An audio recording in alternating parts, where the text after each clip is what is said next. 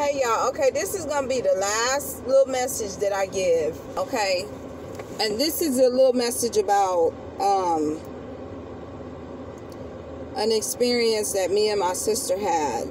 Okay, we were talking on the phone and she was like, I was telling her, I don't know, I think I was telling my older sister something because I'm the baby, so I be telling them I be telling them stuff, and then then they be getting mad at me because they because they like they the oldest, and they feel like everything that I say to them is like, ugh, and because they think I'm mean or whatever. They think I'm mean. They they don't think I'm mean, but like when I tell them something, it's like I'm not gonna beat around the bush with them, right? So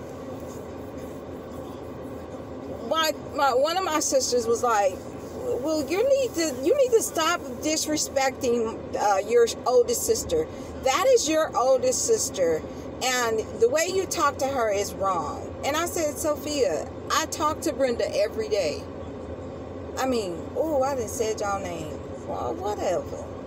I said I talk to her every day. I said I, you know." I mean, if I'm telling you the same thing over and over and over again, I'm going to get mad eventually and be like, look, man, I'm tired of telling you that. Like, just, you know, just.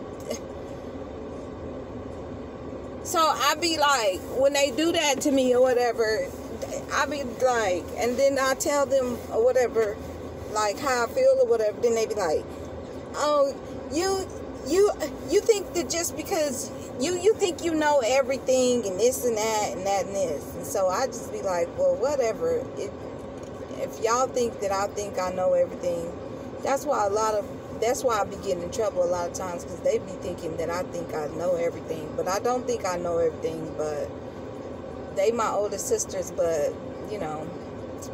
Anyway. So anyway. So i told my sister she so so the other day I posted something on Facebook and but I told my sister like I don't know how I'm disrespectful to you because I haven't talked to you in over a year, sister. like I don't even know whether where you're coming from with that because if you're holding something from my past against me, then that's not good. so let's move on to the future and you know because I don't really talk to nobody. I just I really just try to stay to myself or whatever. So then you know, then they thought I was wrong for saying that. So I said, well, whatever, man. I just don't even want to argue with y'all no more because, yeah, y'all my big sisters, but that doesn't mean that y'all know everything. And then they be like, well, we got to keep an eye on you because you, we don't know what you're going to do next. And I'll be like, okay, well, whatever, but I'm not no baby. Just because y'all messed around and called me doll baby when I was three or whatever, or two or whatever, started calling me that name.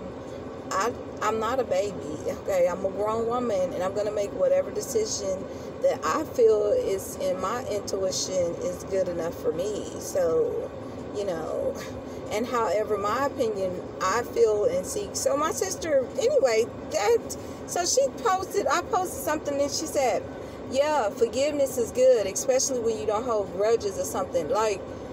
like or something like that. Oh, I, I was like, what grudges, sister? So like that the, the, the moral of the story is is that those type of that type of energy, okay, because obviously it's it's a type of energy that's bothering my sister that's making her think that I'm holding a grudge against her just because I voiced my opinion and she may or may not agree with it and then I have to be Miss Smarty Pants because I think that I know everything, and then like I don't even know how I know everything because I haven't really communicated with nobody in over a year or so, you know. And then when I do try to call to make people laugh or whatever, you know, it always gets to the the um, it gets to the um, religion type of thing, and I'm just, you know, I'm not, I don't want to you know, sometimes people just don't want to talk about religion, you know, and then if you do talk about religion, know what it is that you're talking about. I mean, know the facts of what you're talking about, and then don't downgrade anybody because if we can't lift each other up, then we shouldn't be even in each other's energy. So that's I think that's probably why I pretty much stay away from people that don't want to be around me because I don't want for them to feel like I know like I know that your energy doesn't want to be around me and like I'm okay with that. but when you want for your energy to be around me, don't think that I'm just going to be like, okay, I'm going to just accept that because no, like I tell myself I said I just I want to just go move away like not too far from my grandbabies, but you know, and just be free because you know my kids is grown now and you know so yeah. Anyway the moral the story is is just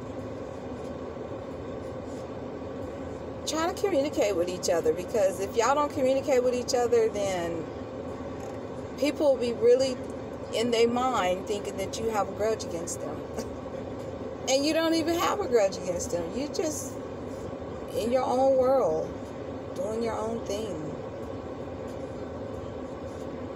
So communication is key, I guess, for that little conversation. Have a good day.